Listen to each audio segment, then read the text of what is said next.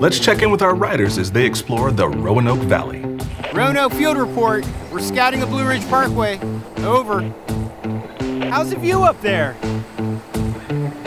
We can say with certainty that if you love gravel, you'll love Roanoke.